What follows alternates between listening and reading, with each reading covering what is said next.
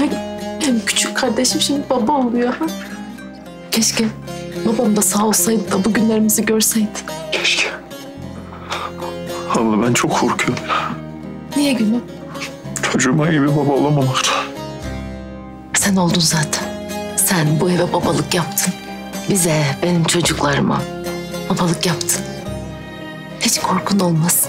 Sen çok iyi baba olacaksın kardeşim benim.